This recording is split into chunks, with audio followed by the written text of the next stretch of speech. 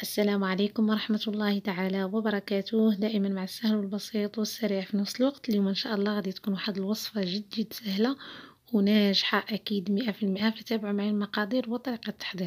إن شاء الله غادي نحتاج 600 غرام من الدقيق الأبيض فرص ولا فرينة غادي نحتاج معاهم ملعقة صغيرة من الملح. وغادي نحتاج أيضا نصف ملعقة طعام من خميرة الفورية. ولا خميره ديال الخبز إلا عندكم خميرة طرية يمكن لكم تخدموا بها. غادي نحتاج نصف كأس ديال العنبة ما يعادل تقريبا ثلاثة الملاعق ديال الطعام من سكر حبيبات أو السكر الخشن. يمكن لكم تضيفوا على حساب يعني كل واحد والذوق ديالو. فبالنسبة للسكر يمكن لكم تضيفوا على هذه الكمية.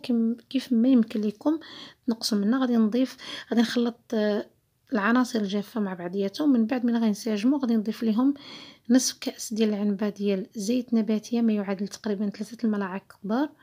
ومن بعد غادي نضيف جوج الكؤوس ديال الحليب اللي كيكون بطبيعة الحال دافئ.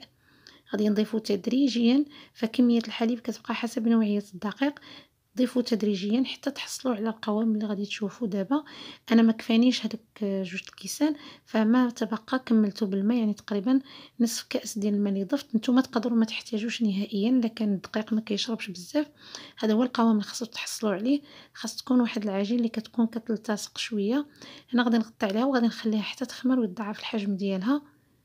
هنا كما كتشوفون بعد ما خمرت لي العجين غادي نحاول نفرغ من الهواء اللي كيكون فيها ضروري أي عجين كتختمر فمن الأحسن أنكم تخدموها مزيان ملي تخمر نفرغوها من الهواء اللي فيها ونحاول أني نشكل كويرات على حسب يعني الحجم اللي بغيت أنا.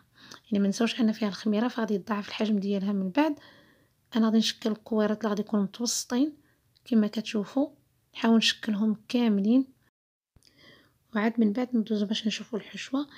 آه كما غتشوفوا هي ماشي شي حشوة اللي هي صعيبة فهذه وصفة بسيطة طبقتها في الأساسي فيها هو العجين.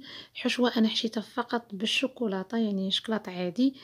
يمكن لكم أيضا ديروا تعتمدوا نفس الوصفة بنفس المقادير يعني فقط الحاجة الوحيدة اللي تحيدوا وهي آه السكر. يعني ديروا المقادير كاملين اللي عطيت. فقط سكر ما ديروش ومن بعد ديروا الحشوه يعني اللي تكون مالحة. فهذه عجينة ديال الفطائر المعتمدة عندي ساهلة بسيطة ما كما شفتوا ما فيهاش لا خميرة ديال الحلوى لا لا بيض لا زبدة. يعني كتكون ساهلة وناجحة مئة في المئة.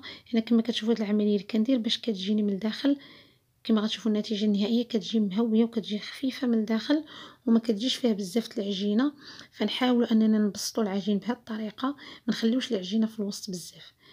يعني سوا ديروا الحشوة مالحة ولا الحشوة حلوة يعني ديما جروا العجينة لجيت للجنب وخليو الوسط ما يكونش فيه بزاف ديال العجين باش من بعد ملي يضاعف الحجم ديالها تبقى خفيفة من الداخل. يعني يمكن لكم أيضا تحشوها بالتمر فيعني كاينين في بعض الدول الشرقية كيحشوهم بالتمر وجنجلان ولا التمر مع بعض المكسرات كيجيو حتى هما زوينين. هنا كما كتشوفوا غادي خليتهم حتى اختمروا وضاعف الحجم ديالهم. هنا غادي ندهنهم أنا بصفار ديال البيضة وكتزيين غادي ناخد السمسم هنايا مع حبة البركة ولا السانوج. أنا خديت السمسم أبيض يمكن لكم تاخذوا أي نوع من يعني عندكم لوز effilé كاوكاو أي حاجة ولا الفول السوداني. اللي متوفر عندكم جوز الهند. أي حاجة متوفرة عندكم تزينوا بها ولا يكفي فقط أنكم تدهنوا من الفوق فكيعطي المنظر ديالهم زوين. إلا ما بغيتوش ديروا البيض آه البيض ولا صفار البيض يمكن لكم فقط أنكم تدهنوهم بالحليب. حتى الحليب كيعطي واحد اللون اللي هو زوين. هنا من بعد ما ساليتهم كاملين كما كتشوفوا غادي نزينهم بالسمسم ولا آه السانوج. وما تبقى الأخرين اللي درتهم على شكل ديال باكيت فأنا ما غاديش نزينهم. غادي فقط نمر باش ندوز عليهم واحد الخطوط اللي بحال الشكل اللي كنزينو به الفقاس.